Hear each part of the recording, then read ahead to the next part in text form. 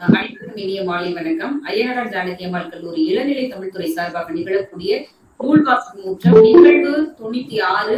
இன்றைய நிகழ்விலே நம்மிடையே நூல் கருத்துரை வழங்குவதற்காக சென்னை உலக தமிழாராய்ச்சி நிறுவனத்தினுடைய தமிழ் மொழி மற்றும் மொழியியல் குலத்தினுடைய உதவி பேராசிரியர் மதிப்பிற்கும் மரியாதைக்கும் உரிய முனைவர் நா. சுலோச்சனா அவர்கள் வந்திருக்கின்றார்கள் அன்னார் அவர்கள் நம் கல்லூரியினுடைய பழைய மாணவர் என்பது குறிப்பிடத்தக்கது. இரண்டாயிரத்தி ஐந்தாம் ஆண்டு முதல் இரண்டாயிரத்தி ஒன்பதாம் ஆண்டு வரை நம் கல்லூரியிலே பயின்ற சிறப்பிற்குரியவர். இன்று உலக தமிழாராய்ச்சி நிறுவனத்திலே பல்வேறு பணிகளை முன்னெடுத்து அவர் செய்து வருவது நமக்கெல்லாம் மகிழ்ச்சி தருகின்றது. சமகால இலக்கியங்களில் பெரியாரிய சிந்தனைகள் என்பது அவருடைய முனைவர் பட்ட ஆய்வு தலைப்பாகும். பெரியாரியத்தை ஏதோ முனைவர் பட்ட ஆய்விற்காக அவர் மேற்கொள்ளவில்லை. வாழ்க்கையிலும் பெரியாரியத்தை கடைபிடிக்கக்கூடிய ஒரு நல்ல பெண்மணி அஹ் நல்ல தமிழ் சொல் அறிவோம் என்ற ஒரு வலையொலி தளத்தின் மூலமாக தொடர்ச்சியாக இயங்கி வருகிறார். புதிது புதிதான சொற்களை அவர் தேர்ந்தெடுத்து இது எந்த சொல் இந்த சொல் எங்கே வருகிறது எந்த காலத்தில் வருகிறது எந்தெந்த இலக்கியங்களில் பதிவாகி இருக்கிறது என்று நல்லது ஒரு தமிழ் பணியை செய்து வருகிறார். அஹ் அகராதிகள் செய்யாத ஒரு பணியை அவருடைய வலையொலி செய்து வருவதாகவே நான் உணர்கின்றேன். அதற்கு மேலாக அம்மா அவர்கள் பத்து முனைவர் பட்ட ஆய்வாளர்களுக்கு நெறியாளராக எழுதியிருக்கிறார் இருபத்தி ஐந்து எம்பில் பட்ட மாணவர்கள் அவர் அவருடைய நெறி ஆளுகையின் கீழாக அந்த பட்டத்தை பெற்றிருக்கின்றார்கள். பத்து நூல்களை எழுதியிருக்கின்றார். அவ்வப்பொழுது நான் அவருடைய இயங்குதலை கவனித்தேன். கீரா அவர்கள் மறைந்த பொழுது அவர் ஒரு நல்ல ஒரு கருத்தரங்கத்தை ஒரு பத்து நாள் என்று அருமையான ஒரு கருத்தரங்கத்தை முன்னெடுத்திருந்தார். நல்ல நல்ல அதாவது கீராவை குறித்து அறிந்த நல்ல எழுத்தாளர்களை அவரோடு நெருக்கமாக பழகியவர்களை அழைத்து அதை ஒரு பெரிய கருத்தரங்கமாக நிகழ்த்தியிருந்தார். கீராவை பற்றி தெரியாத செய்திகளை எல்லாம் கூட அந்த கருத்தரங்கம் பலருக்கும் புரிய கீராவிடம் இன்னும் நெருக்கத்தை கொண்டு வந்தது என்று கூட சொல்லலாம். எங்கள் கல்லூரியிலும் அவர் இணைந்து அஹ், பல்வேறு கருத்தர கருத்தரங்குகளை நிகழ்த்தி இருக்கின்றார் எனவே பல்வேறு தளங்களில் பயணிக்கக்கூடிய அன்பு சகோதரி எங்களிடமெல்லாம் எப்பொழுதுமே அன்போடு பேசக்கூடிய நல்லதொரு தோழமை முனைவர் நா. சுலோச்சனா அவர்களை நாங்கள் பெருமகிழ்வோடு இந்த அவையிலே வரவேற்று அறிமுகம் செய்கின்றோம். இன்று முனைவர் சுலோச்சனா அவர்கள் நல்லதொரு நூலை தேர்ந்து வந்திருக்கின்றார். வழக்கறிஞர் எழுத்தாளர் பேர் ரவீந்திரன் ஐயா அவர்களினுடைய வித்தி வான்முகம் வியங்குளம் என்ற நூலை தேர்ந்து வந்திருக்கின்றார். இன்று எழுத்தாளராக திகழக்கூடிய திரு கே. ரவீந்திரன் ஐயா அவர்களும் நம்மோடு இணைய இணைப்பிலே இணைந்திருப்பார்கள் என்று நினைக்கின்றேன். ஐயா அவர்களினுடைய தம்பியர் அவர்கள் நல்ல எழுத்தாளர் திரு மகேந்திரன் ஐபிஎஸ் ஐயா அவர்கள். அவர்களினுடைய வெள்ளாமை நாவல் குறித்தும் இங்கே ஒரு நூல் கருத்துரை வழங்கப்பட்டது நமக்கெல்லாம் நினைவிருக்கும். எனவே குடும்பமே தமிழ் குடும்பமாக இயங்கக்கூடிய ஒரு குடும்பமாக இருக்கிறது. திரு பே ரவீந்திரனையா என்னுடைய குடும்பம். சிவகாசிக்கு அருகே இருக்கக்கூடிய புலிப்பாறை என்கின்ற கிராமத்தை சார்ந்தவர்கள். எனவே சிவகாசி மண்ணை சார்ந்த ஒரு படைப்பை சிவகாசியிலேயே பிறந்து வளர்ந்த ஒரு பேராசிரியர் பேசுவது என்பது நமக்கெல்லாம் மகிழ்ச்சி தருகின்றது. அந்த தலைப்பு கூட ஒரு கவித்துவமாக அமைந்திருக்கின்றது. வித்தி வானோக்கும் இயக்கம் அப்படிங்கிறது விட்டு விதைத்து வானத்தை தூக்கி காட்டியிருக்கக்கூடிய ஒரு பரந்துபட்ட நிலம் என்பதாக அந்த தலைப்பே ஒரு கவித்துவமாக அமைந்திருக்கிறது. குறிப்பாக சிவகாசி மண்ணை சார்ந்த ஒரு எழுத்தாக அது பதிவு செய்யப்பட்டிருக்க வேண்டும். என்றே நான் எதிர்க்கின்றேன் எனவே நல்லதொரு நூலை தேர்ந்து அது குறிப்பாக சிவகாசி மண்ணை சார்ந்த அந்த நாவலை தேர்ந்து நம்மிடையே பேச வருகின்றிருக்கக்கூடிய சுலோச்சனா மயன் அவர்களையும் எழுத்தாளர் ஐயா அவர்களை நாங்கள் பெருமகிழ்வோடு வரவேற்று அமைகின்றோம் நன்றி.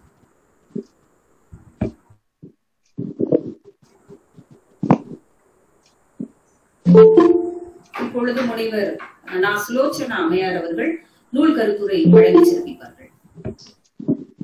அனைவருக்கும் இனிய வணக்கம். அஹ் மிக சிறந்த ஒருங்கிணைப்பு தொடர்ந்து நிகழ்வாக வாரந்தோறும் வியாழன் கிழமை நிறைய நூல் வாசிப்பு முற்றம் ஏன்னா வாசிப்பு என்பது இளைய தலைமுறைக்கு ஒரு பெரிய அருந்தவமாக கிடைக்க வேண்டும் என்பதை ஒரு பெரும் நோக்கோடு இந்த அஹ், ஐயனார் ஜானிமால் கல்லூரி நிகழ்த்துகிறது என்றால் அது எல்லோருக்கும் ஒரு பெரிய மரியாதை என்றுதான் சொல்ல வேண்டும். அவங்க என்னை அறிமுகப்படுத்திய உற்ற தோழி அவர்கள் சொன்னார்கள் ஏன்னா இவங்க இந்த சிவகாசி பகுதியை சார்ந்தவர்கள் அஹ், எழுத்தாளரும் சிவகாசி அப்படின்றது ரொம்ப பொருத்தம் அப்படின்னாங்க. அதை விட சால பொருத்தம் என்னது அப்படின்னா முதலாவதாக எவ்வளவோ வேலை இருந்தாலும் கூட நான் படித்து வேலை பார்த்த கல்லூரி என்பது என்னமோ பிறந்த வீட்டு உணர்வோடு எனக்கு இருந்தது. கூடுதலாக அஹ், நாம் பிறந்த கரிசல் பூமியை பற்றிய ஒரு நூலை பற்றி நாம் பேச போறோம் அப்படின்னா எப்படி சொந்த ஊருக்கு போறதும் சொந்த மனுஷங்களை பார்த்து பழகுவதும் எப்படி ஒரு உணர்வை தருமோ அதை போலதான் அப்படின்றதை விட சொந்த ஊரை பற்றி பேசுவது என்பது கல் குடித்த போதையை தருவது என்று புதுமை பித்தர் சொல்வார். அதே போல நான் எதையும் யோசிக்காமல் இந்த புத்தகம் நிறைய வாசிச்சிருந்தாலும் கூட எங்கேயோ இருக்கும். நாம் சிவகாசி நகரத்துல தான் இருப்போம். ஆனா இந்த நூல் முழுவதுமே சிவகாசி சுத்தி இல்ல பட்டி போன்ற சிற்றூர்களை சார்ந்ததுதான்.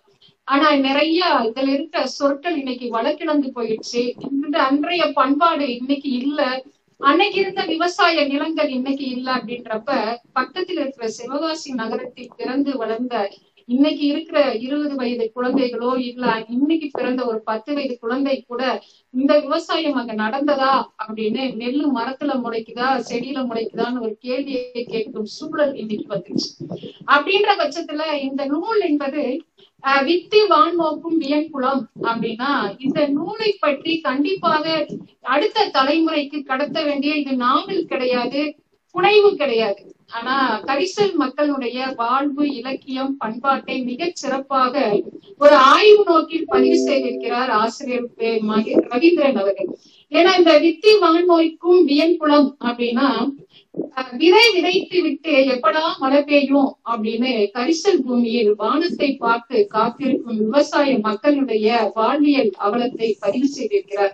இவர் எங்கிருந்து இந்த வார்த்தையை எடுத்திருக்கிறார் அப்படின்றப்ப புறநானூற்று வரையிலையும் இல்ல சங்க இலக்கியத்துல நிறைய முள்ளிநில பகுதியில் எப்படியெல்லாம் இந்த கரிசல் பூமியை பதிவு செய்திருக்கிறார்கள் என்பதை ஒரு சங்க இலக்கிய ஆய்வாளராக ஏன்னா என்னை அறிமுகப்படுத்திய அஹ், தமிழ்துறை தலைவர் அவர்கள் சொன்னார்கள் அருள்மொழி அம்மா அவர்கள் சொன்னார்கள் எப்படி அப்படின்னா இவருடைய வீட்டில் எப்படி அஹ், வண்ணதாசனும் சாகித்ய அகாடமி விருது பெற்றவர்களாக இல்ல அஹ், இது கரிசல் இலக்கியத்தினுடைய முன்னெற்றியர் கீராவும் கு அழகிரிசாமியும் ஒரே ஒரு சாகித்ய அகாடமி விருது பெற்றவர்களாக திகழ்ந்தார்களோ? அதே போல சிவகாசி பக்கத்தில் இருக்கிற குடிப்பாறை பட்டியில் இரண்டு பேரும் சகோதரர்கள் கரிசல் பூமியை பற்றி வெள்ளாமையும் அஹ், வான் நோக்கும் மீன் குளம் எழுதியிருக்கிறார்கள் என்று சொன்னார்கள். அதை விட அவருடைய தந்தையார் அவர்கள் சங்க இலக்கிய ஆய்வாளர் என்பது இங்க குறிப்பிடத்தக்கது. எங்க இருந்து இந்த ஒரு சிந்தனை வந்திருக்கிறது என்று பார்க்கிறப்ப அவருடைய மரபு வழியாக வந்ததை நாம் பார்க்கிறோம். ஏன் இந்த புத்தகத்தை நான் எடுத்திருக்கிறேன் அப்படின்றப்ப இந்த கரிசல் பூமியினுடைய எல்லோரும் சொல்வாங்க சிவகாசி கந்தக பூமி அப்படி தீப்பெட்டி தொழிற்சாலையும் பட்டாசு தொழிற்சாலையும் நிறைந்திருக்கிற பூமியில் மக்கள் விவசாயம் என்பது பொய்த்து போக பிறகு இடம் மாறி சென்னை போன்ற பெருநகரங்களுக்கு வாழ்வியலை தேடி போகிற சூழல் வந்தது. அப்ப அந்த விவசாய நிலம் எப்படி இருந்தது? அங்க இருக்கிற மக்களுடைய பாடு என்ன? எப்படிப்பட்ட விவசாயம் நடக்கிறது என்பதை பதிவு செய்ததுதான் இந்த புத்தகமாக நான் பார்க்கிறேன். அதனால இதுல நிறைய சங்க இலக்கிய நூல்களை வந்து மேற்கோள் காட்டி இது முல்லை நில பகுதியாக காடும் காடு சார்ந்த பகுதியாகத்தான் இருந்திருக்கிறது என்பதை ஆசிரியர் நிறுவி இருக்கிறார் அது மட்டும் இல்லாமல் சாதாரண இதுல இருபத்தி ரெண்டு தலைப்பு மட்டும் இல்லாம நிறைய கரிசல் பூமியினுடைய படைப்பாளர்களை நிறைய அறிமுகப்படுத்தியிருக்கிறார். கரிசல் பூமி படைப்பாளர்கள் மட்டும் இல்லாமல் உலகெங்கும் இருக்கும் பொதுவுடைமை தத்துவவாதியாக இருந்தாலும் சரி ரஷ்ய இலக்கியவாதிகளாக இருந்தாலும் சரி அத்தனை பேரையும் இங்கே ஒரு ஆசிரியர் நினைவுபடுத்துவது என்பது எவ்வளவு சிறந்தது என்றால் இந்த நூலை வாசிக்கிறப்ப நிறைய படைப்பாளர்களை அறிந்து கொள்வதற்கான ஒரு வாய்ப்பாக இருக்கும். ஏன்னா நிறைய குறை சொல்லி கொண்டே இருக்கிறார்கள் படைப்பாளர்கள். எப்படி அப்படின்னா ஒரு தமிழ் படிக்கும் மாணவர்களுக்கு ஒரு நூறு நூறு இல்ல பத்து படைப்பாளர்கள் பேரு கூட அறியாதவர்களாக இருக்கிறார்கள் என்று சொல்லும் பொழுது இப்படிப்பட்ட ஒரு நூலை வாசிக்கிறப்ப எத்தனை படைப்பாளர்களை அறிந்து கொள்வதற்கான வாய்ப்பாக இருக்கிறது என்பதை நாம் பார்க்கிறோம். ஒவ்வொரு இடத்திலையும் அவர் வந்து ஆய்வு செய்து அந்த செய்தியை சொல்றப்ப படைப்பாளர்கள் இந்த நாவல்ல இந்த கதையை சொல்லியிருக்கிறார். இந்த இடத்துல இந்த பணி வந்திருக்கிறது என்பதை பரிசீலிக்கிறார் செய்திருக்கிறார் அதே போலதான் வித்தி வானோக்கு வியன்குளம் அப்படின்றதுக்கு என்னென்னலாம் பெயர் காரணம் எதற்காக இந்த தலைப்பு எடுக்கப்பட்டுள்ளது என்பதை நிறுவியிருக்கிறார். சங்க இலக்கிய முல்லை நிலமும் கரிசலும். சங்க இலக்கிய முல்லை நில பகுதிதான் இன்றைய கரிசல் நிலம். கீரா சொல்வது போல கரிசல் மண் என்பது அவரவர் தாய் அவர்களுடைய கருவறை போன்றது கரிசலில் எதை விளை எதை விதைத்தாலும் அது நெய் கரிசல் தான் என்பார். கரிசல் பூமியில் பிறந்தவர்கள் எப்படி ஒரு எவ்வளவுதான் பஞ்சம் எது இருந்தாலும் பூமியை விட்டு விலகி செல்லாத மாந்தர்களாக திகழ்வார்கள் என்பதுதான் கரிசல் படைப்பாளர்களுடைய எண்ண சிவை அந்த எண்ணத்தின் அடிப்படையில் முல்லை கரிசல் என்பதை பதிவு செய்திருக்கிறார் கரிசலுடைய வேட்டை சமூகம் எப்படியாக இருந்தது அப்படின்றப்ப அந்த பகுதியில் பாக்குறப்ப நம்மளுக்கு நிறைய எப்படி நாய்களை பற்றிய நம் நாய் என்றாலுமே ராசபாளையம் நாய் என்றுதான் எல்லோருக்கும் புரியும். அது மாதிரி கன்னிசேரி சிப்பிப்பாறை நாயுடைய வகைகளையும் பாளையக்காரர்களுக்கு சுதந்திரம் போராட்டத்தில் எப்படி நாய் உதவி செய்தது என்பதை புதிய தகவலாக கூடுதல் தகவலாக இங்கு பதிவு செய்திருக்கிறார் ஆசிரியர். எந்த மாதிரி நாய்களை எல்லாம் பயன்படுத்தி இருக்கிறார்கள்? வெள்ளைக்காரர்கள் எப்படி பாளையக்காரர்கள் பொலிகஸ் என்று அழைத்திருக்கிறார்கள் என்பதையும் இங்க குறிப்பிட்டிருக்கிறார். அதே போல வேட்டை சமூகம் மேய்ச்சல் சமூகம் அப்படின்றப்ப மேய்ச்சல் சமூகம்னா கரிசல் பூமியில் அதிகமாக முல்லை நிலம் என்றாலே நம்ம ஆயர் ஆய்ச்சியர்னு சொல்றோம். இடையர்கள் என்று சொல்றோம். அதனால ஆடு மாடு மேய்ப்பவர்கள் பத்திய குறிப்பு நிறைய சங்க இலக்கியம் முதல் நாம் இன்றைய வரை நாம் பார்க்கிறோம். அப்படிப்பட்ட மேய்ச்சல் சமூகத்தில் ஒரு வெள்ளாமை விளைவதற்கு என்ன அங்க தேவைப்படுது அப்படின்னா விளைச்சலுக்குரிய உரமாக ஆடு மாடு கிடை போடுவதை இங்கே பதிவு செய்யும் இன்னைக்கு சமூகத்திற்கு கிடை என்றாலே தெரியாது. ஏன்னா விவசாயம் வேளாண்மை செய்பவர்களுக்கு அந்த குடியில் பிறந்தவர்களுக்கு தான் கிடைனா என்ன? ஒருவேளை ஆட்டு ஆஹ் அந்த ஆயர் இடைய குலத்தில் பிறந்தவர்களுக்கு வேணால் ஆடினுடைய தன்மை தெரிஞ்சிருக்கும். கிடைனா என்னன்னு தெரியும் கீதாரினா என்ன தெரியும் மேய்ச்சல் பகுதினா என்னன்னு தெரியும் பட்டினா என்னன்னு தெரியும் இதெல்லாம் தெரிஞ்சிருக்க வாய்ப்பு இருக்கு. ஆனால் எங்கோ இருக்கும் பெருநகரங்களில் குளிரூட்டப்பட்ட அறையில் இருந்து கொண்டு கரிசல் நில பகுதியை மக்களுடைய வாண்டியலை வாசிக்க வேண்டும் என்ற இந்த புத்தகத்தை படித்து ஓ அப்பா அப்படிலாம் மக்கள் இருந்திருக்க அந்த பூமி இப்படிப்பட்டதா இருந்து அறிந்து கொள்வதற்கான ஒரு வாய்ப்பாக இருக்கும். மேலாண்மை பொன்னிசாமி அவர்களிடம் சொல்றப்ப கேட்கிறப்ப சொல்வாரு. எப்படி பிள்ளைகள்லாம் சென்னையில் வாழ்றப்ப நீங்க என்ன வயசான காலத்துல இங்க இருக்கிறது பிள்ளை இருக்கலாமே அப்படின்றப்ப அவர் சொல்றாரு. எங்கேயோ இருக்கிற அந்த குளிர்விட்ட பட்டையில் ஏசி ரூம்ல உட்காந்து நான் என்னுடைய மக்களை பத்தி என்னோட சிந்திக்க முடியாது. என்னுடைய ஊரில் இருந்துகிட்டு நாம் பழைய மனிதர்கள் நான் நான் பிறந்து வளர்ந்த மண்ணை பற்றிய மனத்தை நான் எழுத வேண்டும் என்றால் இங்கதான் இருந்து எழுத முடியும் என்று சொல்வார். அதே போல கரிசலத்தில் பிறந்து வளர்த்து கரிசலுடைய மக்களுடைய வாழ்வியலாக இந்த மேய்ச்சல் சமூகத்தை நாம் பார்க்கிறோம். அப்ப ஆட்டு கிடை என்று சொல்றப்ப கிடைனா என்ன துண்டம்னா என்ன ஒவ்வொன்றுக்கும் ஒரு விளக்கம். அதே போல ஆட்டு வியாபாரிகள் தங்களுக்குள் பேசும் பரிபாசையை பரிபாசை பரிபாசைன்னு நம்ம சொல்றோம். அந்த பரிபாசைனா என்னன்னு நீங்க குறிப்பிட்டிருப்பார். அதே போல மாடுக்கும் மாட்டுக்கு கிடை நாம சும்மா சொல்லுவோம்ல வெள்ளாடு மாதிரி கீழே பார்க்காம போறேன் மேலேயே பாக்குறேன் அப்படின்லாம் வசம் சொல்லிருப்பாரு ஏன்னா செம்மறியாடெல்லாம் ஒரு இடத்துல மட்டும்தான் மே குளிச்சுட்டே போகும். ஆனா வெள்ளாடுகள் வந்து அங்கங்க மேய்ச்சி நின்றுட்டே போகும். அதனால செம்மறியாட்டு கூட்டத்தோடு ரெண்டு வெள்ளாட்டையும் சேர்த்து அனுப்புவாங்க. ஏன்னா செம்மறியாடுக்கு திரும்பி இருப்பிடம் வர தெரியாது.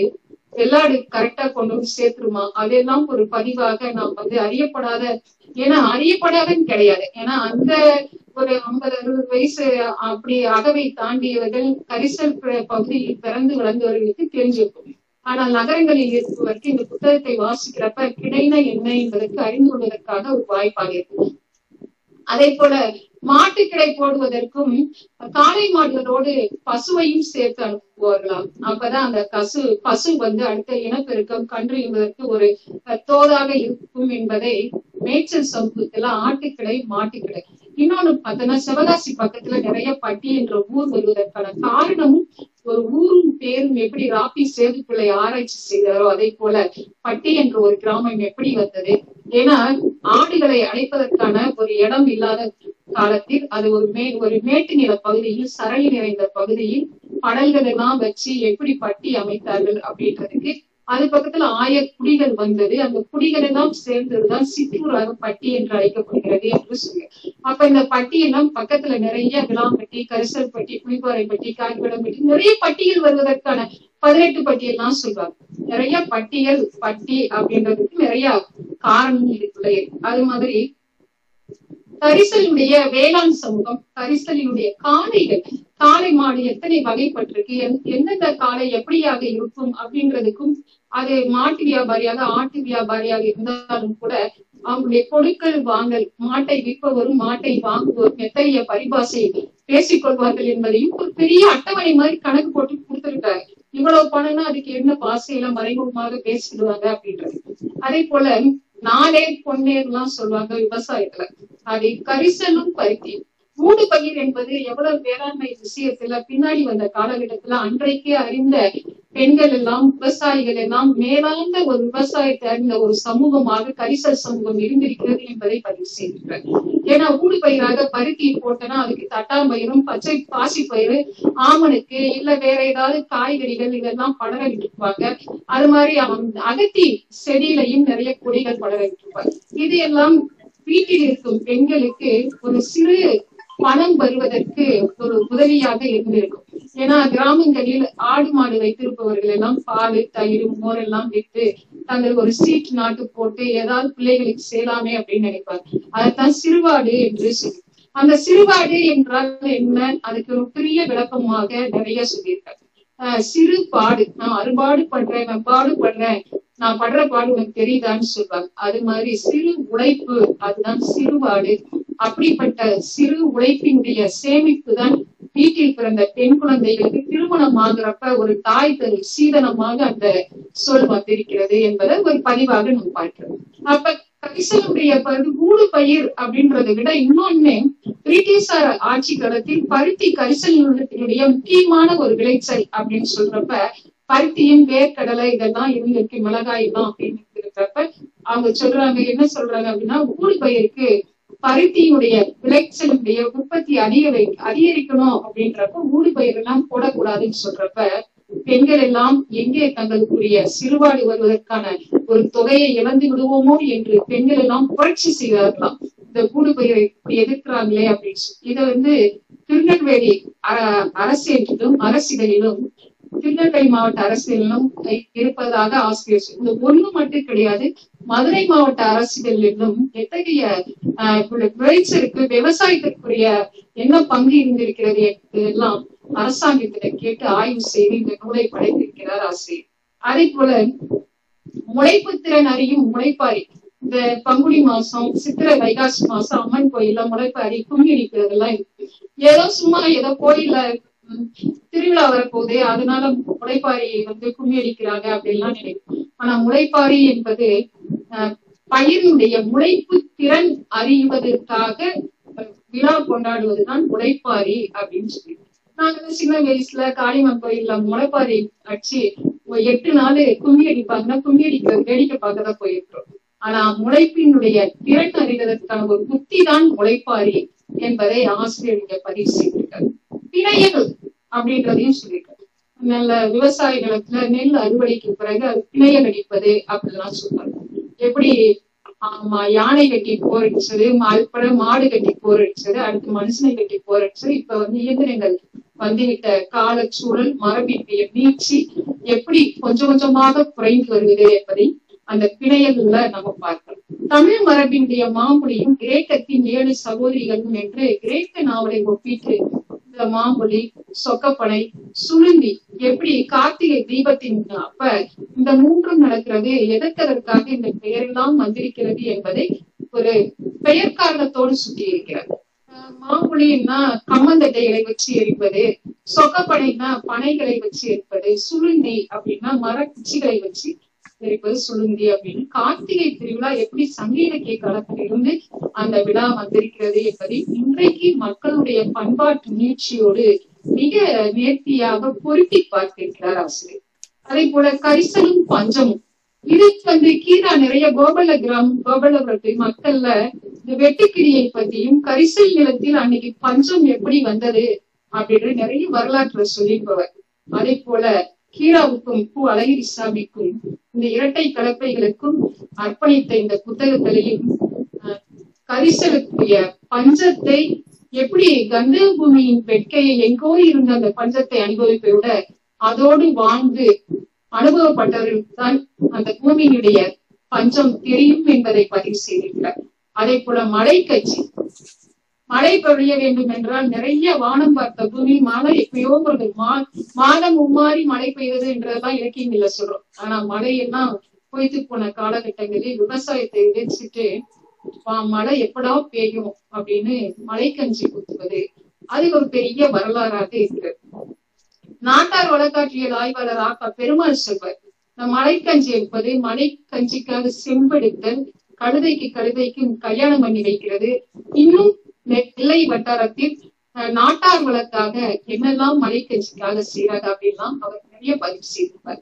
அதே போல இங்க மலைக்கஞ்சி எடுக்கிறதுக்கு எப்படி அஹ், வந்து வீடு வீடாக தானியங்களை வாங்குறதோ இல்ல உணவை வாங்கி எல்லோரும் ஒரு ஒற்றுமை பண்பாட்டை உணர்த்துவதற்காக செய்யும் ஒரு பண்பாட்டு நிகழ்வாக மலைக்கஞ்சியை பயன்படுத்தியிருக்கிறார் இது கரிசலும் நீர் பாசனமும் அப்படின்றப்ப கரிசல்ல எத்தகைய நீர் பாசனம் எல்லாம் இருந்திருக்கு அப்படின்னா ஊரா உண்ணும் ஆஹ் ஊரணி அப்படின்றது நம்ம ஊர் பக்கத்துல நிறைய ஏ- ஏரிகள் எல்லாம் இருக்கு குளங்கள் இருக்கு குட்டை இருக்கு மடை இருக்கு ஆறு இருக்கு குற்றம் இருக்கு குண்டு இருக்கு. இது மாதிரி நிறைய கால்வாய் இருக்கு இது மாதிரி நிறைய சொற்கள் எல்லாம் நீரை தேக்கி வைத்து பாசனத்திற்கு பயன்படுத்தப்படும் சொற்களாக நாம் பார்க்கிறேன்.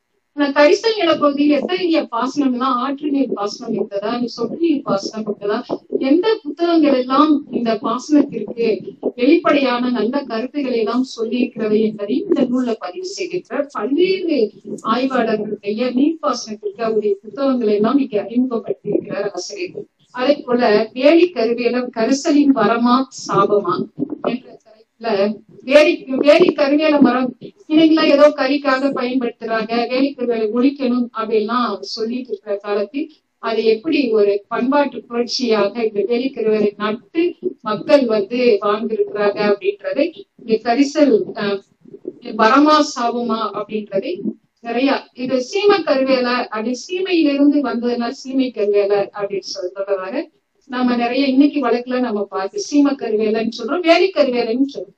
இந்த வேலை கருவேலைன்னு சொல்றப்ப நிறைய வீடுகள்ல ஆஹ் உம் என்ன கூலிக்கார வீடுகள் எல்லாம் அன்னைக்கு காலகட்டத்தில் அடுப்பெறி வைப்பதற்கு இன்னைக்கு எல்லாம் கேஸ் வந்துச்சு எரிவாயு வந்துச்சு சாலை எரிவாயு முன்னாடி இருந்தது மின்சார அடுப்பு எல்லாம் வந்துச்சு. இப்ப எல்லாம் ஆஹ் என்னது வீடுல சமையலறை இல்லாத வீடுகள் எல்லாம் வந்துச்சு கிச்சன்ல ஸ்பூன் வந்துச்சு. ஆனா இதெல்லாம் எப்படி ஒரு பண்பாட்டு அழிந்து விட்டது என்பதை ஆசிரியர் நிறைய இதுல சொல்லி போறாரு எப்படின்னா இதுக்கு அடுத்ததாக சொல்ற உணவு பண்பாடு.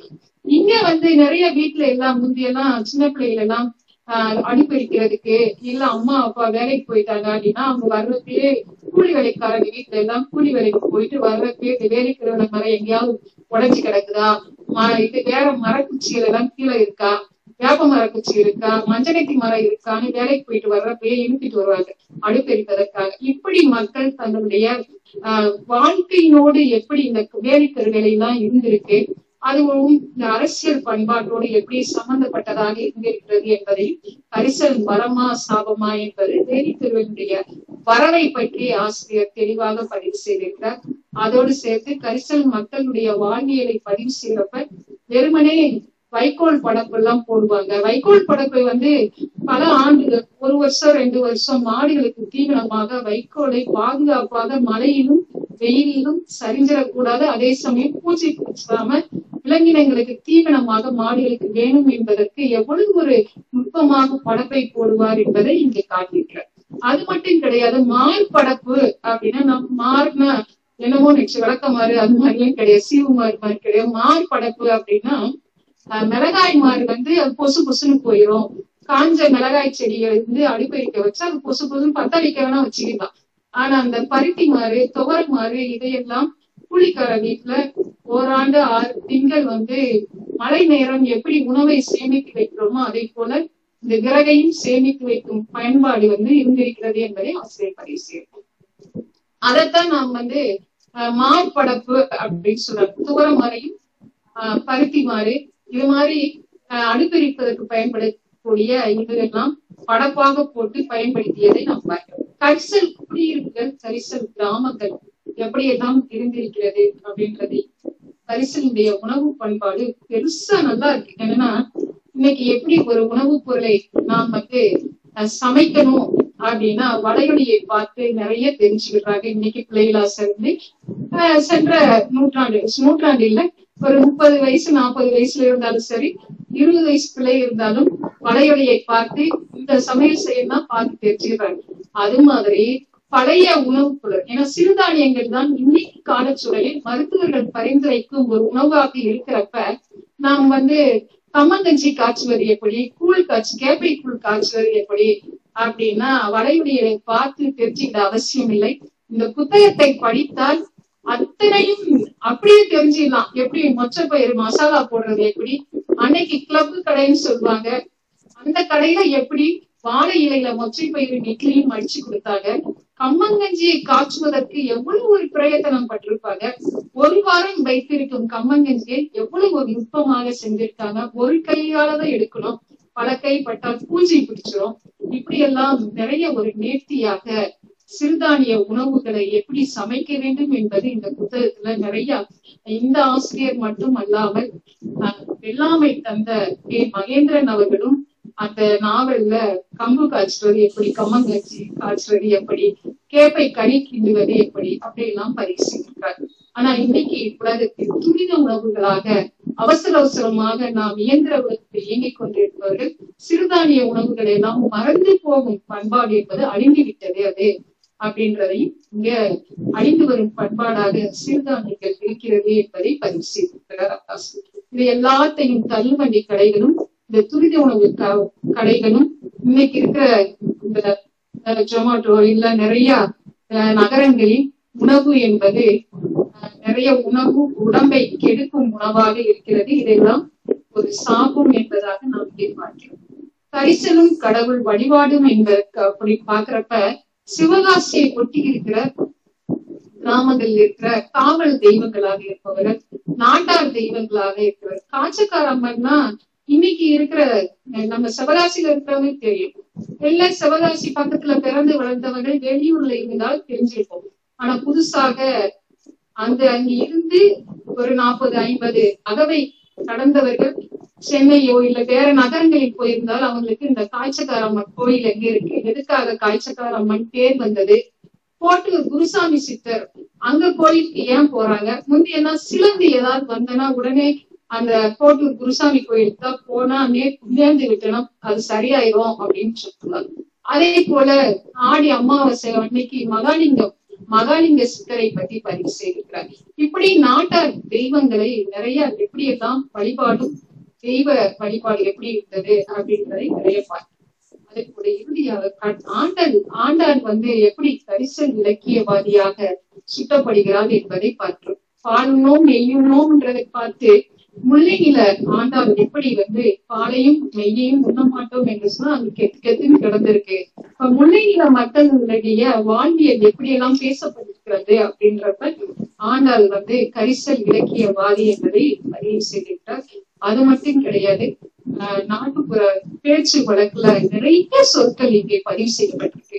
இன்னும் விரிவாக நாம் பேச வேண்டும் என்றால் நிறைய களங்கள் இருக்கு ஒவ்வொன்றும் ஆய்வு செய்யப்படக்கூடிய புதிது புதிதான சொற்களை அறிமுகப்படுத்தியிருக்கிறார்.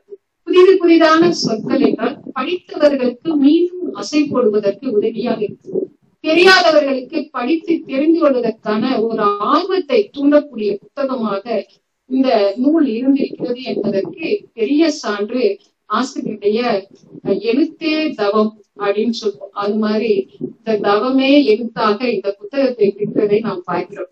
அதே போல தலைகிறதுன்னு சொல்லுவாங்க. ஏன்னா கீரா செவ்வர் தலைகிறது அப்படின்னா தாய் பசுவை இழந்த கன்றுவும் கன்று இழந்த தாய் பசுவும் இணைக்கிறது அப்படின்னு சொல்றோம்.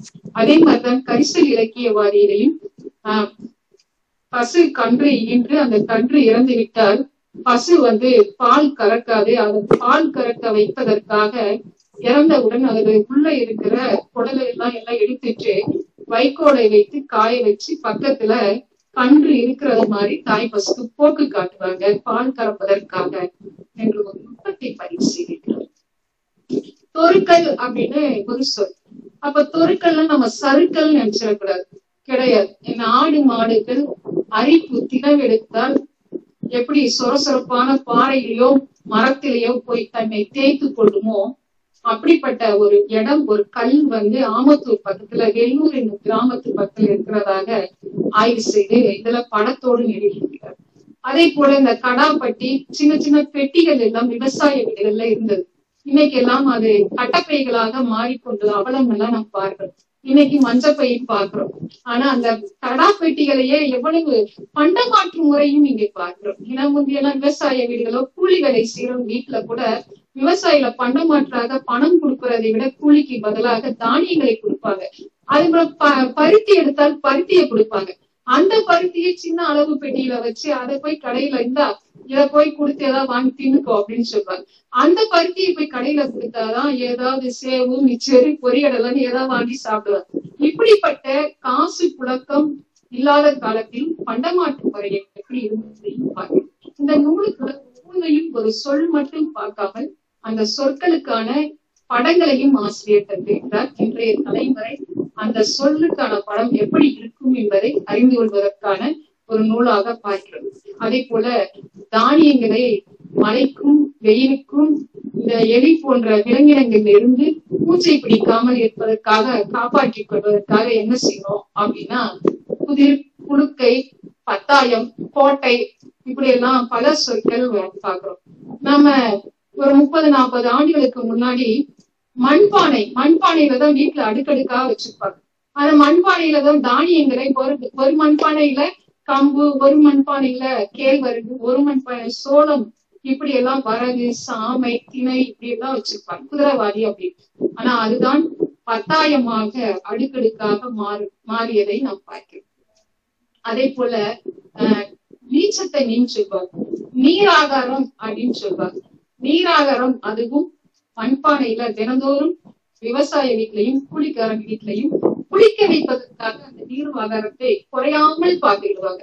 ஏன்னா அவங்க சோறு பொங்குறது கூட அந்த நீர் ஆகாரத்தை ஊற்றிதான் சோறு பொங்குவாங்க. ஏன்னா விவசாய வீடுகளையும் கூலி வீடுகளையும் நேர நேரம் சோறு பொங்க முடியாதுன்றதுக்காக காலையில வச்சது இரவு வரை இருக்கணும். இல்ல மறுநாள் காலையில வரை கூட இருக்கும் மீறி இருந்த சோறுல என்ன செய்வாங்க அப்படின்னா அந்த நீரா நீச்ச தண்ணியை ஊத்தி வச்சிருப்பாங்க. அது கெட்டு போகாது.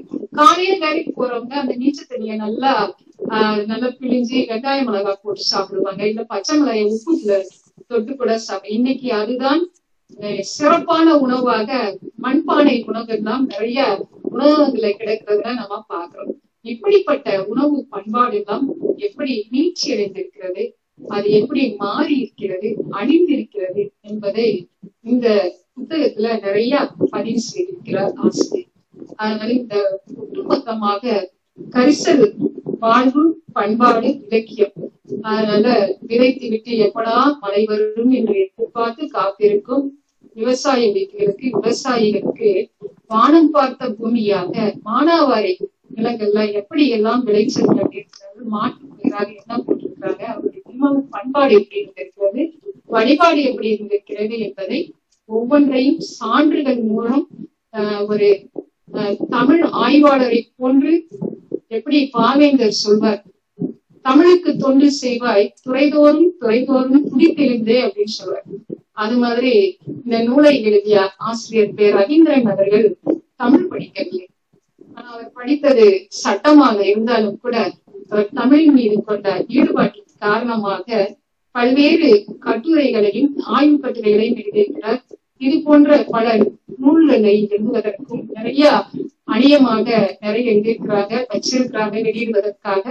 இந்த ஒரு நூல் போதும் அவருடைய எழுத்திற்கு சான்றாக மக்களுடைய பண்பாட்டை எதிரொலிப்பதற்கு ஒரு பெரிய உன்னதமான ஒரு படைப்பை தந்திருக்கிறார். அதனால கரிசல் பூமி என்பது நான் இறுதியாக புரட்டி என்றதை சொல்லணும். துரட்டிக்கு அடையாளமாக நாம் இடையர்கள் எப்படி துரட்டி வச்சிருந்தா எப்படி அவரு ஒரு இடையர்கள் அப்படின்னா ஆடு மேய்க்கிறவங்க கையில ஒரு தூக்காடி வச்சிருப்பாங்க ஒரு சாங்கியை கோத்திருப்பாங்க அது என்ன வண்ணமாக கூட இருக்கலாம். கையில துரட்டி வச்சிருப்பாங்க. ஒரு ரப்பர் செருப்பு போட்டிருப்பாங்க அப்படின்னு ஒரு அடையாளப்படுத்தும். அந்த துரட்டி என்பதை சங்க இலக்கியத்தில் கவர் போல் என்ற ஒரு சொல்லி இருக்கிறது. அது வட்டார வழக்குல எப்படி எல்லாம் கோம்பமார் அப்படின்னு நெல்லை குமரி வட்டார வழக்குல சொல்றாங்க கருவூர் வட்டத்தில் சல்லை என்று சொல்கிறார். இந்த துரட்டி எதற்கு பயன்படுகிறது அப்படின்றதையும் எப்படி ஆடுகளுக்கு தீவனத்திற்காக கருவேலையோ இல்ல வேலி மரங்களை இல்ல மற்ற குடைகளை தலைகளை முடிப்பதற்காக உயரமான இதை வளைப்பதற்கும் அதிலிருந்து பறிப்பதற்கும் இந்த துரட்டி பயன்படுத்துகிறதை நாம் பார்க்கிறோம். இப்படியாக நிறைய சொற்கள் நிறைய ஆய்வு இந்த புத்தகத்தில் நாம் பார்க்கிறோம். இன்னும் நீங்கள் நிறைய படித்து அறிந்து கொள்ள வேண்டும் என்றால் கரிசலினுடைய பண்பாட்டையும் மக்களையும் அறிந்து கொள்ள இந்த புத்தகத்தை நீங்க வாசித்தால் முழுமையாக நீங்களும் கந்தக பூமி கந்தக பூமி சுடுதா இல்ல குளிர்ச்சியை தருதா என்பது உங்களுக்கே உங்கள் கையில். ஏன்னா இருபது நிமிடத்தில் நான் இந்த முன்னூறு பக்க புத்தகத்தை முழுவதுமாக உங்களிடம் நான் சொல்லிட முடியாது. அதனால இதுல இருக்கிற என்னென்ன செய்திகள் மட்டும்தான் இருக்கிறது என்றுதான் சொல்லியிருக்கிறேன். இதை முழுவதுமாக நீங்கள் வாசித்து இலக்கினுடைய மக்களை அறிந்து கொள்வதற்கு ஒரு சிறந்த ஆவணமாக இந்த நூல் விளங்குகிறது என்பதற்கு நான் பிறந்த ஊர் நான் பிறந்த ஊரில் இருந்து எழுதியிருக்கிறார் நம்ம ஊரு அப்படின்றதை விட இந்த கரிசல் பூமி நான் இறுதியாக அஹ், படைப்பாளர் பொன்னிகன் அவருடைய வரிகளோடு நிறைவு செய்யலாம் என்று நினைக்கிறேன். கோடை வந்தாலும் குளிர்மழை வந்தாலும் வாடை வந்தாலும் ஒன்றும் வராமல் போனாலும் விவசாயிகளுக்கு அந்த மண்தான் தஞ்சம். அவர்கள் பேசுவதும் பழகுவதும் கட்டி அணைப்பதும் வெட்டி குடைவதும் அதைத்தான். அந்த மண்ணிலே தோன்றி அதையே நின்று வளர்ந்து அதிலே கடந்து விடுவர்கள் நாம் அவர் கடந்து விடுவர்கள் தாம் அவர்கள். எந்த நிலையிலும் தாயை வெறுக்க தெரியாத கை குழந்தைகளைப் போல அவர்கள் அந்த மண்ணை நேசித்தார்கள். அதை குலைப்பதில் மகிழ்ந்தார்கள் என்று கரிசல் மண். என்னதான் வெக்கையும் பஞ்சமும் வறுமையும் வந்தாலும் கூட சீ அப்படின்னு சொல்லாமல் அந்த மண்ணை வாரி அணைத்தவர்களாகத்தான் அந்த நிலத்தில் பிறந்தவர்கள் என்ற ஒரு பதிவு இந்த புத்தகத்தை வாசிக்கிறப்ப நிறைவை தருகிறது. இத்துடன் என்னுடைய உரையை முடித்துக் கொள்கிறேன். மீறி உங்கள் வசம். நன்றி. மேடம். நல்ல ஒரு நூல் கருத்துரையை வழங்கி இருக்கின்றீர்கள் எப்பொழுதுமே மண் சார்ந்த படைப்புகளை பேசுகின்ற பொழுது மணக்க மணக்க பேசுவது என்பது ஒரு இயல்பு. அதே போல நீங்கள் அந்த நூலை பற்றி பேசுகின்ற பொழுது எங்களுக்கும் சில நினைவுகள் எல்லாம் தொடர்ந்து கொண்டே இருந்தது. நான் கூட நினைத்தது உண்டு. முல்லை தெரிந்த பாலை என்று தான் நினைத்தேன். ஆனால் ஐயா அவர்கள் இந்த நூலிலே குறிப்பிட்டதை போல ஓ இது கரிசல் நிலமாகத்தான் இருக்க வேண்டும் என்பதற்கு பல சான்றுகளோடு நீங்கள் பேசினீர்கள். அவர்களுடைய வாழ்வு பண்பாடாக இருக்கட்டும் நீங்க முதல் பொருளை சுட்டுகின்ற பொழுதெல்லாம் எனக்கு தொல்காப்பியம் ஞாபகத்திற்கு வந்தது. முதல் கரு உரிப்பொருளை சார்ந்தும் இந்த நூல் பேசப்பட்டு பேசப்பட்டிருக்கிறது. அஹ், நீங்கள் அவர்களுடைய உணவு பண்பாடு குழு குறி சொற்கள் துரட்டி அவர்கள் சமைக்கக்கூடிய உணவு உணவு பண்பாடு அது மாதிரி உணவு பண்பாடு வேட்டை சமூகம் எப்படி நகர்ந்தது ஒரு மாதிரி வரலாற்று செய்திகள் பாளையக்காரர்கள் எப்படி நாய்களை பயன்படுத்தினார்கள் போன்ற பல்வேறு தகவல்களை அடக்கிய ஒரு சிவவாசியை சார்ந்த வட்டாரத்தை சார்ந்த ஒரு நூலை குறித்த ஒரு அருமையான ஒரு வந்து நிறைய நிறைய கற்க வேண்டிய படிக்க வேண்டிய சிவகாசியினுடைய வரலாற்றினுடைய மிகப்பெரிய ஆவணமாக திகழக்கூடிய ஒரு நூலை குறித்து அருமையான ஒரு பதிவை செய்திருக்கிறீர்கள் நன்றி இப்பொழுது நம்மிடையே இந்த இணைய இணைப்பிலே இந்த நூலினுடைய படைப்பாளர் மதிப்பிற்கும் மரியாதைக்குரிய ஐயா வழக்கறிஞர் திரு தே. ரவீந்திரன் ஐயா அவர்கள் இணைந்திருக்கின்றார்கள். இப்பொழுது எழுத்தாளரோடு ஒரு சந்திப்பு. ஐயா அவர்களை இந்த நூல் குறித்து பேச வருமாறு அழைக்கின்றோம். இந்த நூல் எழுதுவதற்கான காரணம் நீங்கள் எழுதிய பொழுது உங்களுக்கு பிடித்தமான அந்த நிகழ்வுகள் அதையெல்லாம் நீங்கள் குறிப்பிட்டு பேசுங்கள் ஐயா வருக.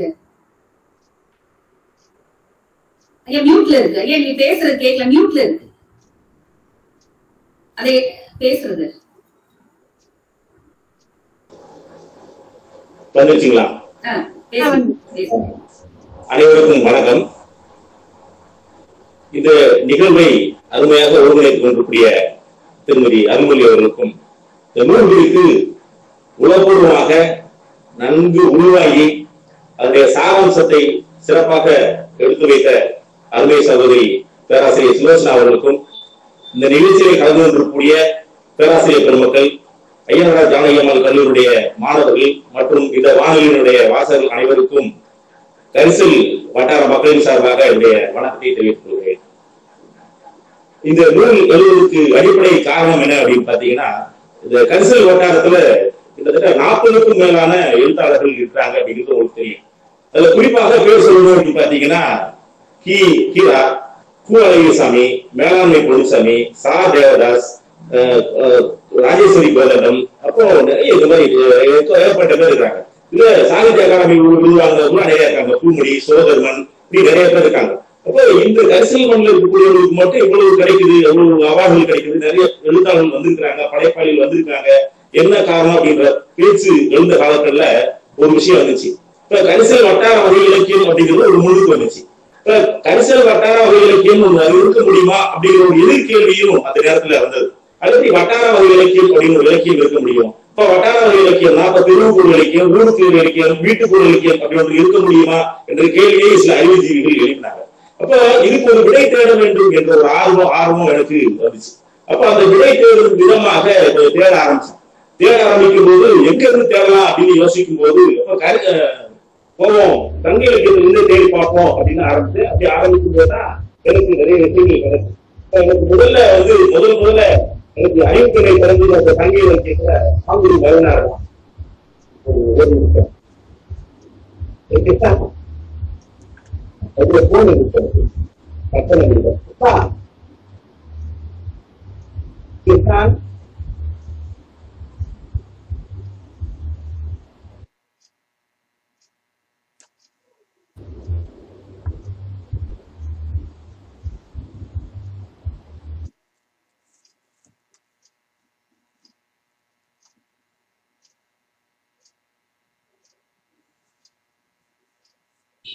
சார் திரும்ப திரும்ப அதுல மியூட்டை தட்டிட்டாரு எப்படியோ கையில.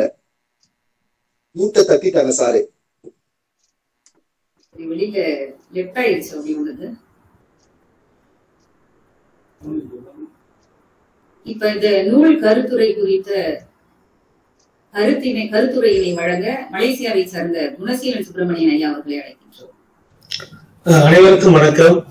உயர்ந்த நோக்கோடு கூடிய ஒரு அரிய நூலை பற்றிய தமது கருத்துக்களை வழங்கிய முனைவர் சுலோசனா அவர்களுக்கு முதலில் என்னுடைய நன்றியினையும் பாராட்டினையும் தெரிவித்துக் கொள்கின்றேன். நல்ல பேச்சாளர்கள் அவருடைய வார்த்தைகளும் வாழ்க்கையும் வாழ்க்கைக்கும் வார்த்தைக்கும் வேறுபாடு இல்லை என்றால் இம்மாதிரியான ஒரு நல்ல கருத்துரைகள் வெளிப்படும். அந்த வகையில் நம்முடைய பேராசிரியர் அவர்கள் இங்கு அவருடைய சொந்த மண்ணை பற்றிய அந்த கரிசல் மண் கந்தக மண்ணை பற்றிய அங்கு அந்த வாழ் அந்த மக்களுடைய வாழ்வியல் சமூக பண்பாட்டு கூறுகளை உள்ளடக்கிய ஒரு நூலை பற்றி நமக்கு நிறைய செய்திகளை வழங்கி இருக்கின்றார்கள். குறிப்பாக இது ஒரு கலைக்களஞ்சியம் கேட்டதை போன்ற அல்லது ஒரு படித்ததை போன்ற ஒரு உணர்வை நமக்கு ஏற்படுத்தி இருக்கின்றது நிறைய சொற்கள் கலை சொற்கள் சொல்லுவோம். அல்லது ஒரு அதாவது வாழ்க்கை அந்த மக்களுடைய வாழ்க்கை சார்ந்த சொற்கள் வாழ்வியல் சார்ந்த சொற்களை நமக்கு அவர் நிறைய சொற்களை சொல்லியிருக்கின்றார். அடுக்கிக் கொண்டே போகலாம். அந்த வகையில் ஒரு கரிசல் மண் அல்லது காடும் காடு சார்ந்த அந்த நிலம் நிலம் சார்ந்த அந்த மக்களுடைய வாழ்வியல் அவர்களுடைய விவசாயம் அவருடைய அந்த வேட்டையாடும் சமூகத்தினுடைய அல்லது மேற்கு சமூகத்தினுடைய வாழ்வியல் ஆடு மாடுகள் அந்த அதனுடைய வகைகள் அஹ், அல்லது இந்த பயிர் வகைகள் இதை பற்றியெல்லாம் அவர் சொல்லிக் கொண்டே வரும் பொழுது இதுல வந்து அந்த சிறுபாடு என்ற ஒரு சொல்லை பற்றி சொன்னார். அது வந்து அந்த அஹ், அந்த அதாவது அந்த ஊடு பயிராக அந்த பெரும்பயிருக்கு ஊடாக இது செய்து மக்கள் கை செலவுக்கு அல்லது தங்கள் பிள்ளைகளை திருமணம் செய்து வைக்க பணம் சேர்க்கின்ற ஒரு முறை என்று சொன்னார். இங்கு மலேசியாவிலும் அப்படிப்பட்ட ஒரு வாழ்வியல் சார்ந்த ஒரு வாழ்க்கை இருக்கிறது. இங்கு மக்கள் ரப்பர் தோட்டங்களில் வாழ்ந்தாலும் கூட அவர்கள் இந்த காய்கறிகள் பயிர் செய்து அதனுடைய அதனுடைய சிறு வருமானத்தை கை செலவாக பயன்படுத்தி தங்களுடைய வாழ்க்கையை நடத்தி இருக்கின்ற பாங்கினை நாம் பார்க்கின்றோம். அந்த வகையில இந்த நூலை பற்றிய மிகச்சிறந்த கருத்துக்களை வழங்கிய சுலோச்சனா அவர்களுக்கும் பேராசிரியர் சுலோச்சனா அவர்களுக்கும் இந்த நூலாசிரியருக்கும் என்னுடைய நன்றியினையும் பாராட்டையும் தெரிவித்துக் கொள்கின்றேன். நன்றி வணக்கம். கருத்துரை வழங்கி சிறப்பித்த முனைவர் குணசீலன் சுப்பிரமணியன் ஐயா அவர்களுக்கு நன்றியை தெரிவித்துக் கொள்கின்றோம். இப்பொழுது எழுத்தாளர் அவர்கள் தன்னுடைய உரையை தொடர் தொடர்வார்கள். மன்னிக்கணும் மன்னிக்கணும் அஹ் அது அப்போ அஹ், கரிசல் வட்டார மொழி இலக்கியம்னா என்ன அப்படின்னு தேட ஆரம்பிக்கும் போது சங்க இலக்கிய இலக்கியத்துல இருந்து ஆரம்பிக்கலாம் அப்படின்னு யோசிச்சேன். அப்பதான் மாங்குடி மருதனாருடைய பாடல் தான் எனக்கு ரொம்ப உதவிச்சு. கருங்கால் வரகை இருந்ததிற்கினையே அப்படிங்கிற அந்த கவிதை தான் அப்ப அந்த கவிதை என்னன்னா சிறுதானியங்கள் விளைஞ்சதை பத்தி சொன்னாங்க. அப்ப அதுல இருந்து ஆரம்பிச்சேன். ஆரம்பிச்சு கிட்டத்தட்ட இந்த பணியை ஒரு இரண்டு ஆண்டு காலம் இந்த பணியை செஞ்சேன். அஹ் களப்பணியும் போனேன். புத்தகங்களை மட்டுமில்லாமல் களப்பணிகள் அதிகமாக போனேன். கரிசு இலக்கியவாளுடைய படைப்புகள் பெருமதியான படைப்புகளை தேடி தேடி படிக்க ஆரம்பிச்சேன். அதுல சோதர்மன் கு அழகிரிசாமி கீராஜ் நாராயணன் புதுமணி மேலாண்மை பொன்னுசாமி இப்படி பலருடைய எழுத்துக்களை படிக்க ஆரம்பிச்சேன் அதே போல ஏங்கல்ஸுடைய குடும்பம் தனி சொத்து குரங்கிலிருந்து மனிதன் தோன்றியது தோன்றியது உழைப்பின் பகுதி. இப்படி ஏற்பட்ட புத்தகங்களை படிக்கும் பொழுது நிறைய ஆதாரங்கள் அதுல கிடைச்சது. அப்ப இதையெல்லாம் தொகுத்து ஒரு நூலாக்கலாம் அப்படின்னு யோசிச்சுட்டு இருக்கிற காலத்துலதான் கீரா அவர்கள் இறந்தாங்க. கீரா அவர்கள் இறந்த உடனே இறந்த காலத்துல அப்போ அவரை பத்தி ஒரு நினைவு நினைவு கூட்டம் என்பது தமிழ்நாடு முற்போக்கு எழுத்தாளர் கலைஞர் சங்கத்தின் சார்பாக ஏற்பாடு செய்யப்பட்டது. அந்த நிகழ்வுல நான் பேசணும் அப்படின்னு சொல்லியிருந்தாங்க.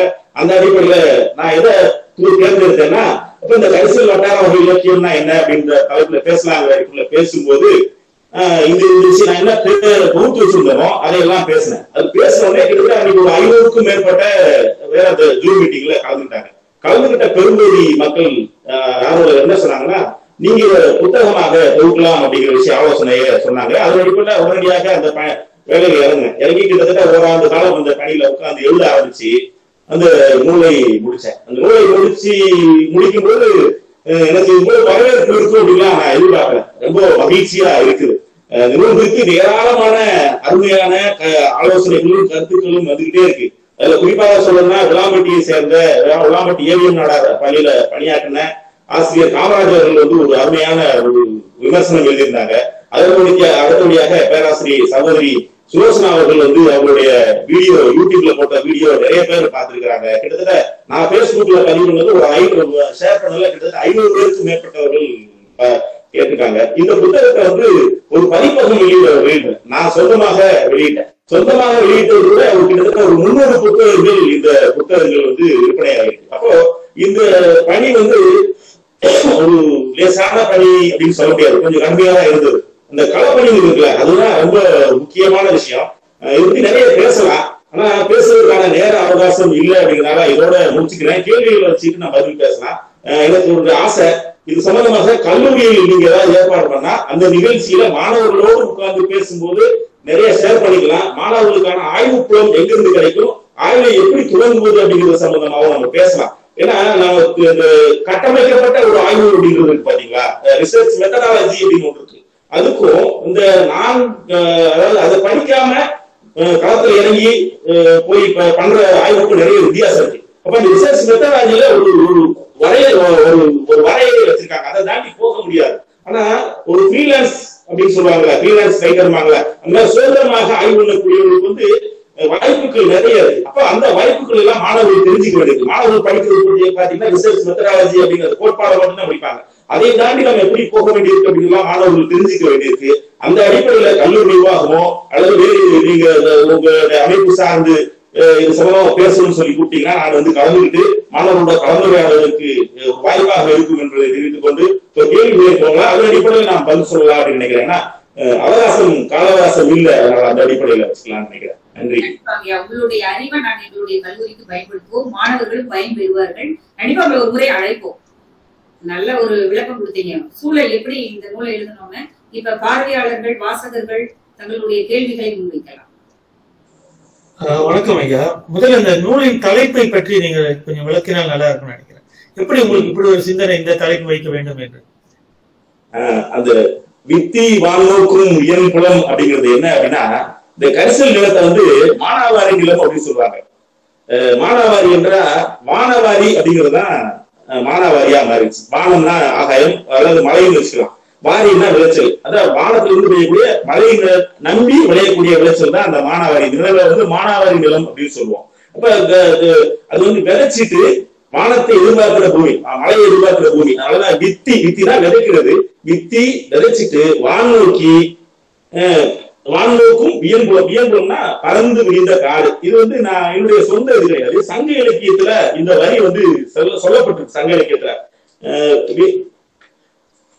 அந்த வார்த்தை வந்து வித்தி வான்நோக்கும் வியன்பு புன்புலம் அப்படின்னு வரும் வியன்புலம் வராது புன்புலம் வரும். இன்னொரு இடத்துல கார்புலம் தந்த நீருடைய அஹ், வியன்புலம் அப்படின்னு ரெண்டு வார்த்தை தனித்தனியா வரும். கார்புலம் தந்த நீருடைய வி- வார்த்தை வரும். வித்தி வானோருக்கும் புன்புலம் அப்படின்னு ரெண்டு வா- ரெண்டு கவிதை வரிகள் தந்தியா வரும். அந்த ரெண்டு கவிதை வரியில் உள்ள வாசகங்களை எடுத்து நான் வித்தி வானோருக்கும் வியன்புலம் அப்படிங்கிற அடிப்படையில இதை வச்சிருக்கேன்.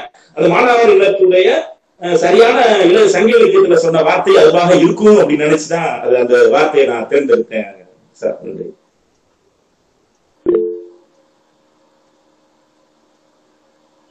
ஒரு நிமிஷம் பேசலாமா? சார் கேள்வி கேளுங்க சார். சொல்லுங்க சார். நான் doctor Deena madam Sulochan madam ரொம்ப அருமையா வந்து எல்லா நிகழ்வுகளையும் ரொம்ப அருமையா பேசினாங்க. ரொம்ப அருமையா இருந்தது. இது ஒரு பல நிலைகள் மாதிரி பழைய நினைவுகள் எல்லாம் சொல்ல வந்தது. எஸ்பெஷலி ஃபார் அந்த கரிவேல மரம் வைக்கிறது வந்து எங்க பாட்டியில நம்ம காலேஜ்லயே பிஎஸ்ஆர் சொல்லி கொடுத்துருக்காரு. பிரஸ் ஆஃப் ஸ்பைசி ஜெரா அப்படின்ட்டு அதாவது அதனுடைய தாவரவியல் பேருப்பாங்க அத வந்து நம்ம வந்து எங்க வீட்டே பண்ணிருக்கோம் எங்க வீட்டுல வந்து விறகு எல்லாம் அப்ப கிடையாது. விறகு எல்லாம் இடத்துல வச்சு பாடும்போது அதனுடைய பின்னாடி வந்து ஒரு பிசி மாதிரி வரும். உங்களுக்கு ஞாபகம் இருக்கணும் ஒரு பின்னாடி வந்து ஒரு பிசிபா தான் வந்துட்டு இருப்பாங்க. இல்ல இது நம்ம எழுத்தாளர் ஐயா ஒன்று கேட்கிறேன். இப்ப அந்த பத்தி எல்லாம் நீங்க அந்த களத்துல போய் அதெல்லாம் நம்ம எல்லாம் அனுபவிச்சிருக்கோம் ஒரு ஐம்பது வயசு அறுபது வயசுக்காரங்களாம் கண்டிப்பா அதெல்லாம் கண்டிப்பா அனுபவிச்சிருக்கோம் இதுல குறிப்பா ஆஹ், அந்த மேடம் சொன்னாங்க சாத்தூர் கோட்டூர் குருசாமிகள் சொன்னாங்க சுந்தரபாலிகள் சொன்னாங்க இதெல்லாம். பட் இது உங்களுடைய புத்தகத்துல வந்து சாத்தூர்ல என்னுடைய குலதெய்வ மையம் இருக்கங்குடி மாரியம்மன் கோயில். அதை பத்தி நீங்க சொல்லியிருக்கீங்களா? அந்த கோயிலுக்கு எப்படி அந்த இடத்துல வந்துச்சு? இருக்கங்குடி நான் இங்கதான் இருக்கேன் அப்படின்னு சொன்னதாக எங்க ஆட்சி சொல்லுவாங்க. அந்த இருக்கங்குடி மாரியம்ங்கிற பேரோ அல்லது அந்த இடமோ அதோட பத்தி உள்ள உங்க நிகழ்வுகளை சொன்னீங்கன்னா கொஞ்சம் நல்லா சார் அது என்ன அப்படின்னா அது இருக்கங்குடி அப்படிங்கிறது சம்பந்தமா அது ஆக்சுவலா வந்து இருக்கங்குடிங்கிறது ஒரு வந்து இருப்பை குடி அப்படின்றது இருக்கு. இருப்பை குடி அப்படின்ற நாடு நாடு இருக்கு. இருப்பை குடி கிழவன் அப்படிங்கிறத அந்த நாட்டை ஆட்சி செஞ்சுட்டு வந்திருக்கிறார். அது வரலாற்று பதிவு. நான் அது சம்பந்தமா இதுல சொல்லியிருக்கேன் எனக்கு நினைவு இல்லை. ஆனா படிச்சிருக்கிறேன். இருப்பை குடி கிழவன் அப்படின்னு ஒருத்தர் ஒரு அந்த நாட்டை அந்த ஒரு சிற்றூர் அரசன் சொல்லுவாங்கல்ல. சிற்றரசர் எல்லாம் ஒரு நாலு ஊர் அஞ்சு ஊர் கிட்டத்தட்ட இப்ப நாட்டாமைன்னு சொல்றாங்க அது மாதிரி ஒரு நாலு ஊருக்கு அஞ்சு ஊருக்கு சேர்ந்து சிற்றரசர் மாதிரி இருப்பாங்க. அந்த மாதிரி ஒரு இருப்பை குடி கிழவன் அப்படிங்கிற பேர்ல ஒருத்தர் இருந்திருக்காரு அவர் வந்து அந்த இருப்பை குடி கிழவன்றவரு அங்க இருக்கிற அந்த கண்மாய் ஒன்று இருக்கு. எட்டுங்குடியில ஒரு கண்மாய் இருக்கு. அந்த கண்மாயில மராமத்து பணியை செஞ்சிருக்கிறாரு அப்படிங்கிற பதிவு வந்து அங்க இருக்கிற கல்வெட்டு எல்லாம் இருக்கு. அப்ப இருக்கை இருப்பை குடி அப்படிங்கறது அது சரியா இருக்க முடியும். அப்ப இருப்பை குடி கிழவன்கிற அவர் அந்த அடிப்படையில் தான் இருப்பை குடிதான் இருக்கக்கூடியாக பிற்காலத்துல மறைவு இருக்கலாம் அப்படிங்கிறது என்னோட கருத்து. இது வந்து ஆய்வுக்கு உட்பட்ட விஷயம். என்னுடைய கருத்தா தான் நான் முன்வைக்கிறேன். அப்புறம் அந்த மாரியம்மாள் சம்பந்தமாக நான் ஏற்கனவே கொஞ்சம் கோட் பண்ணிருப்பேன் அந்த அஹ், நாட்டார் தெய்வ வழிபாடு சம்பந்தமா கோட் பண்ணிருப்பேன் இது வந்து ஒரு வெக்கரிச்ச பூமி. அஹ், கடுமையான வெயில் அடிக்கக்கூடிய பகுதி. இங்க அம்மை நோய் வந்து அதிகமாக வரும். அப்ப அம்மை நோயை வந்து கட்டுப்படுத்தக்கூடியது வந்து எதுனா மலைதான். மலையை மாறி அப்படின்னு நம்ம சொல்றோம். மாறிதான் மலை. அப்ப மலை தெய்வம் தான் அந்த மாரியம்மாள் அந்த மாரியம்மாள் மலை தெய்வமா நம்ம கும்பிடுறோம். அப்ப இருக்கங்குடியில அந்த இருப்பைக்குடி கிழவன் அந்த இருப்பைக்குடியில் இருந்த அந்த மாரியம்மாள் தான் இருக்கங்குடி மாரியம்மாளாக ஒரு கருத்தை தான் நான் முன்வைக்கிறேன் இது ஒரு முடிவான கருத்து இல்ல. இது ஆய்வுக்குட்பட்டது. என் இது சம்பந்தமாக நமக்கு நிறைய பேசலாம் அப்படின்றத இந்த தற்சமயம் இந்த தகவலை தெரிஞ்சுக்க தெரிவிச்சுக்கிறேன் சார் ரொம்ப நன்றி ஐயா நன்றி. நீங்க சொன்னபடி வந்து பள்ளியிலையும் கல்லூரியிலையும் போய் பேசுனீங்கன்னா இப்ப உள்ள மாணவர்களுக்கு ரொம்ப இந்த விஷயங்கள் தெரியும். அதுக்கு கண்டிப்பா கல்லூரி முயற்சி செய்யுங்க. நன்றி. வேற ஏதேனும் கேள்விகள் இருந்தா கேட்கலாம். நன்றி ஐயா. வேலிக்கருவை சம்பந்தமா வேலிக்கருவை சம்பந்தமா சார் சொன்னீங்க. வேலிக்குருளை சம்பந்தமா சார் கேட்டாங்க. அஹ், சம்பந்தமாக வந்து தவறான செய்திகள் பரப்பிவிடலாமோ அப்படிங்கிற ஒரு கருத்து என்பது இருக்குது ஏன்னா இன்னைக்கு கரிசல் வட்டார வட்டாரத்துல ஒரு பெரும்பகுதியுடைய வாழ்வாதாரமாக வேலைக்கு வேலிக்கருளை என்பது இருக்குது. அஹ், இன்னைக்கு வந்து இங்க இருக்கக்கூடிய சின்ன சின்ன விலங்குகள் பறவைகளுக்கு ஆனா வாழ்வு வாழக்கூடிய இடமாகவும் இனப்பெருக்கக்கூடிய இடமாகவும் வேலிக்கருளை தான் இருக்குது. வேற இங்க முத முட்புதர்களோ காடுகளோ எதுவுமே இல்ல எல்லாத்தையும் அழிச்சிட்டாங்க. அப்ப இன்னைக்கு ஒரே அந்த சிறு விலங்குகள் அதாவது முயல் கீரி பாம்பு ஓனான் இந்த மாதிரியான சிறு விலங்குகளும் பறவைகள் மயில் போன்ற பற- பறவைகள் பாம்பு வகைகள் இதெல்லாம் வந்து அங்க தங்கி இனப்பெருக்கம் செய்வதற்கான ஒரே இடமாக அந்த வேலிக்கருவை தான் இருக்குது அப்ப அந்த வேலிக்கருணையும் அழிச்சாச்சுன்னா அது இனப்பெருக்கம் செய்வதற்கான இடமும் அப்ப அந்த மாதிரியான விலங்குகளும் இந்த பறவைகளும் அழிஞ்சு போகக்கூடிய வாய்ப்பு என்பதற்கு இங்க இருக்கக்கூடிய பயோடைவர்சிட்டி என்று சொல்றாருல்ல அந்த பல்லுயிர் பெருக்கம் என்பது அழிந்து போகக்கூடிய வாய்ப்பு என்பது இருக்கு இருக்கு என்பதையும் நம்ம கணக்குல ஏன்னா பேராசிரியர்னால ஒரு கேள்வி கேட்டாங்க. அதையும் நம்ம கணக்குல வச்சுக்கிட்டு தான் நம்ம வந்து இந்த அழைப்பு சம்பந்தமாக பேச வேண்டியது இருக்கு அது சம்பந்தமா நிறைய ஆய்வுகளும் பண்ணிட்டு இருக்காங்க. ஐஐடியில கூட ஆய்வு பண்ணிட்டு இருக்காங்க. முழுமையான விவரம் வரல. அது எவ்வளவு பாதிப்பா சாதகமா பாதகமா அப்படிங்கிறது நிறைய ஆய்வு பண்ண வேண்டிய விஷயம் தான் நன்றி ஐயா கேள்விகளுக்கு ஏற்ற நல்லதொரு பதிலை அந்த ஆய்வு களத்திலே நின்று நின்று ஆழ்ந்து தோய்ந்து பணி செய்து அந்த செய்திகளை இவர்களுக்கு பதிவு செய்தீர்கள். உங்களுடைய உழைப்பிற்கும் உங்களுடைய படைப்பிற்கும் உங்களுடைய தமிழ் குடும்பத்திற்கும் நாங்கள் நன்றியை தெரிவித்துக் கொள்கின்றோம். முறையான ஒரு நன்றியுரை வழங்குவதற்கு முனைவர் சாந்தி அவர்களை நாங்கள் அன்போடு அழைக்கின்றோம். அனைவருக்கும் இனிய மாலை வணக்கம். நூல் வாசிப்பு முற்றம் நிகழ்வு தொண்ணூற்றி ஆறு. பன்னாட்டு அளவிலான நூல் வாசிப்பு முற்றத்தை தொடர்ந்து நாங்கள் நடத்துவதற்கு நல் வாய்ப்பினை வழங்கி வரும் கல்லூரி தாளாளர் முதல்வர் உள்ளிட்ட நிர்வாக குழு உறுப்பினர்களுக்கு இந்நேரத்தில் நன்றி கூற கடமைப்பட்டிருக்கின்றோம். இன்றைய நிகழ்விலே தொடக்க உரையாற்றி சிறப்பித்த இளநிலை தமிழ்துறை தலைவர் முனைவர் அருள்மொழி அம்மா அவர்களுக்கு நன்றி. சென்னை உலக தமிழ் ஆராய்ச்சி நிறுவனம் தமிழ் மொழி அஹ் மொழியியல் புலத்தின் உதவி பேராசிரியரும் தமிழ்துறையின் மேலாள் மாணவியுமான முனைவர் நா. சுலோச்சனா அவர்கள் வே ரவீந்திரன் எழுதிய வித்தி வானோக்கும் இயன்புலம் எனும் நூல் குறித்து கருத்துரை வழங்கினார்கள். கந்தக பூமியில் வாழும் மக்களின் வாழ்வியலை யதார்த்தத்தை பதிவு செய்த சிறந்த நூல் என்று தனக்கு நூல் கருத்துரையை தொடங்கினார். பட்டி சிறுவாடு என்ற சொற்களுக்கான பெயர் காரணம் ஊர்வையில் விளைவிக்கப்படுவதனுடைய நோக்கம். திருவிழாக்களோடு நாட்டார் வழக்காட்சியலோடு தொடர்புடைய பண்பாட்டு நிகழ்வுகளை தெளிவுறுத்திய விதம் மிகவும் அருமையாக இருந்ததம்மா. குறிப்பாக கரிசல் பூமி மக்களுடைய உணவு முறை வழிபாடுகள் என கூறியதை ஒவ்வொன்றும் கண்முன் காட்சிப்படுத்துவதாகவும் பழைய காலத்திற்கு சென்று வந்தது மாதிரியான ஒரு உணர்வினை ஏற்படுத்துவதாகவும் இருந்தது. மொத்தத்தில் ஆற்றலுக்கான தெளிந்த நீரோடை போல நூல் நூல் கருத்துரை வழங்கிய அம்மாவர்களுக்கு மீண்டும் ஒருவரை நன்றி கொள்கின்றோம். நூல் எழுதுவதற்கு எழுதுவதற்காக இந்த சூழலை தேடலின் வித்தாக இந்நூல் அமைந்த விதத்தை முன்னிறுத்தி பேசிய பார்வையாளர்கள் கொடுத்த வினாக்களுக்கும் விடை கூறிய நூலாசிரியர் ரவீந்திரன் ஐயா அவர்களுக்கு நன்றி கூறிக்கொள்கின்றோம். இன்றைய நிகழ்விலே கருத்துரை வழங்கி சிறப்பித்த மலேசியாவை சார்ந்த முனைவர் குணசீலன் சுப்பிரமணியன் ஐயா அவர்கள் ஆறுமுகசாமி ஐயா அவர்கள் டி என் ராமசாமி ஐயா அவர்கள் ஆகிய அத்துணை பேருக்கும் நன்றி. தேர்வு நாள் என்றாலும் கூட தவறாது இந்த இணைப்பிலே இணைந்து கொண்ட ஆர்வமோடு கலந்து கொண்ட மாணவர்களுக்கும் பெருந்திரளாக கலந்து கொண்ட மலேசிய மாணவர்களுக்கும் சிறப்பான ஒரு நன்றியை கூறிக்கொள்ள கடமைப்பட்டிருக்கின்றோம். இணைப்பிலே வந்த அனைவருக்கும் நன்றி. நன்றி.